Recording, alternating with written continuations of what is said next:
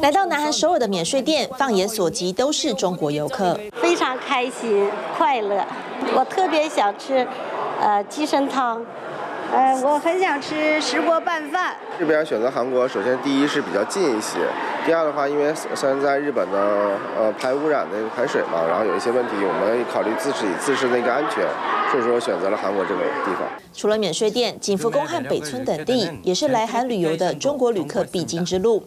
时隔六年多重新开放，连最近南韩国内最夯的新景点也出现在中国游客的旅游攻略指南。청와대와익선동성수동카페거리 코엑스 별마당 도서관 등입니다. 관광 코스로 새롭게 이름을 올린 지역에선 장사가 더 잘 될 거란 기대가 크지만 걱정도 만만치 않습니다.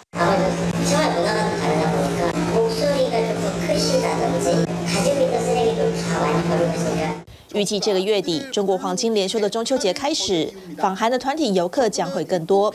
专家提醒店家提前做好准备。사실성수동같은지역은전통적인관광지가아니었다보니까길자체가정비같은것들이제대로돼있지않아서큰단체관광버스라든지뭐이런주차장이라든지이런문제가아마심각할걸로예상이됩니다回顾过往数据，二零一九年访韩中国游客还有六百多万人。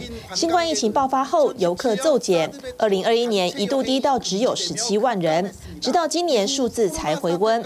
七月重新夺回访韩游客第一名。중국관광객1인당지출규모는215만원으로일본미국보다월등히앞서 관광객 증가는 경상수지 개선에 도움이 될 수 있습니다. 정부가 이들을 불러오기 위해 팔을 거둔 이유입니다. 看准中国游客人潮带来的可观前朝，南韩政府决定增加从中国到南韩的入境航班，到今年底为止免除每人一万八千韩元折合台币四百三十三元的中国团体游客电子签证手续费， 同时扩大适用中国行动支付的加盟店以及退税系统。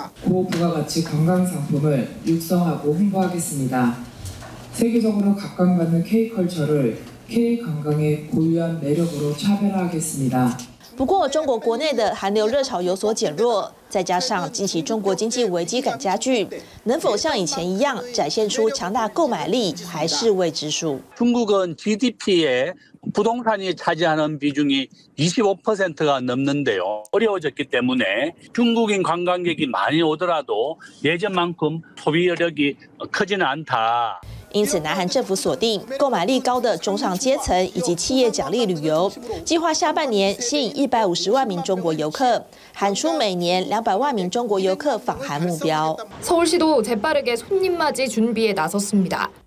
특히 체험 위주의 관광을 즐기는 젊은 층을 공략할 계획인데 중국 최대 명절인 중추절과 국경절엔 특별 환대 행사도 진행합니다. 先前部分观光景点有载肥羊的红台价格行为，首尔市政府决定扩大价格标示义务地区，同时也顾及市民，减少因涌入大量游客造成的不便。